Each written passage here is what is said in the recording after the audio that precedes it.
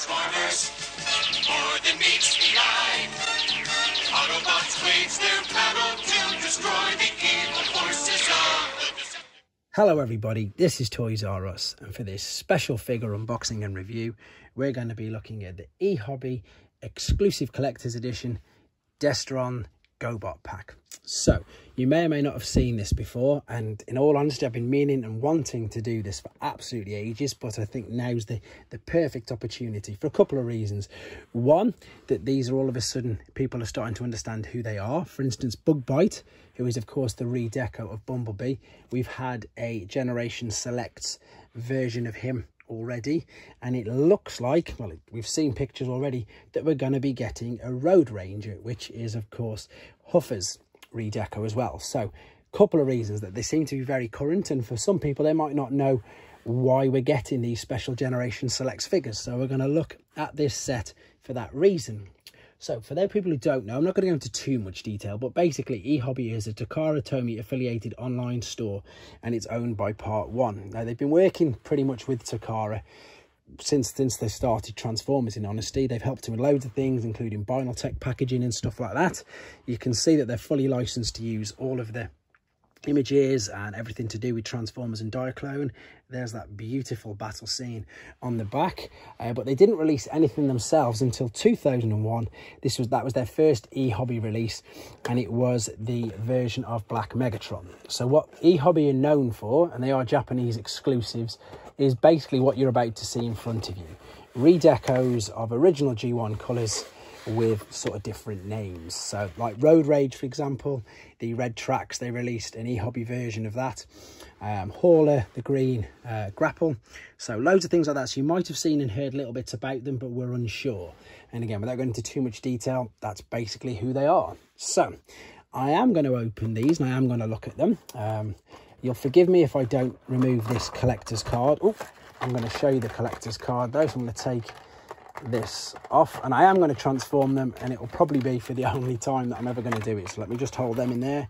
There is the collector's card that you get with it.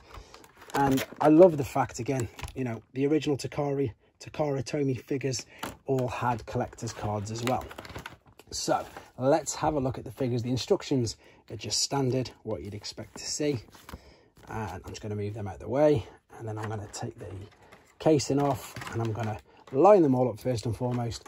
I'm going to do, of course, I'm going to do some comparisons with the original G1 selves.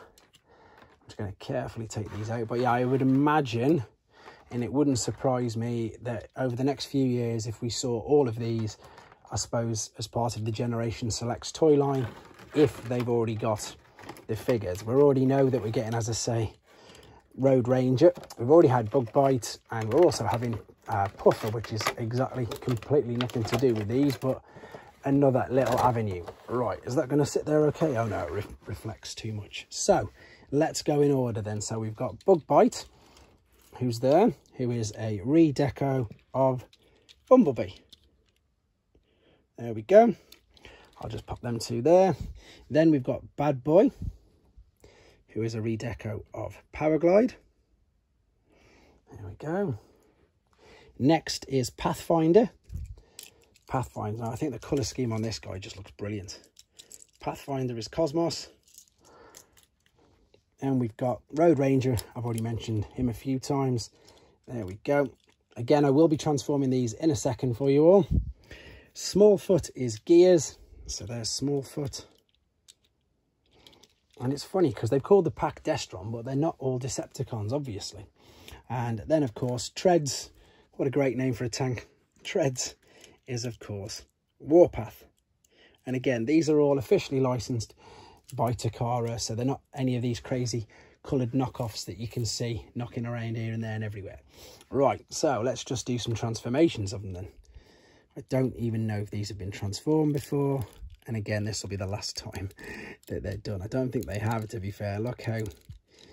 Yeah, I don't think these have been transformed before. And as I'm keeping these for myself for a long, long time, I'm going to be transforming them. There we go. Oh, it's got the new Bumblebee head sculpt that they used in, uh, I think it was the Walmart version. That's just so I don't have to transform my others as well. There we go. Let's move on to Powerglide. So let's pop him down. Take it down. Uh, I don't really want to do these, but let's do it. Turn it around, fold it up nice and careful. Turn the arms down. There we go. I need to turn his head around, don't I? See how long it's been since I've done a Powerglide transformation. There we go. I might have to move these over in a sec. In fact, what I'll do, because they're definitely not all going to fit, let's just move all the original ones first and foremost, put the new ones, and then we'll do the comparisons after. So again, another ingenious idea really by um, Takara and eHobby to, to do these. And again, nowadays as well, because as I've just said, I pretty much expect us to fully get all new versions of these when they release the normal generations versions of these particular figures. Let's move these out of the way. It's just good to see what they've done with the um, colour scheme, isn't it? Right, Road Ranger, so this guy might look familiar now because we've seen pictures on the internet of the new version of him. Carefully out. Look at that. It's brilliant. I'm not going to force the head up, to be honest. I'm just going to leave that right there. I'm sure you understand. Small foot next. Gears. Fold him out. Let's make sure they all fit just about. And then treads all the way out, up, nice and careful, slide that back. There we go. So, there they all are transformed. What I'm going to do, rather than lining them all like that, I'm going to quickly just pick them up one at a time, just to show you the comparison in their robot mode. And that's all they are. They These literally are straight up redecos so for those of you new to collecting and you're wondering what the term redeco means, it's exactly that, like redecorative or redecoration, basically just a repaint. Figure stays exactly the same. They haven't bothered doing a slight retool, which is another term that you'll come to hear quite a lot, which is where they use the same mould, but then just retool something slightly different. Usually it's a head or something like that. Um, there's loads of these terminology that I remember myself when I was getting into collecting didn't have a clue what any of them meant. But um, so hopefully, as I say, you're finding this um, useful. For those people already know, uh, I suppose I'm sorry. I'm telling you things that you already know. Really impressed, really impressed with Pathfinder. He looks beautiful. Powerglide very quickly.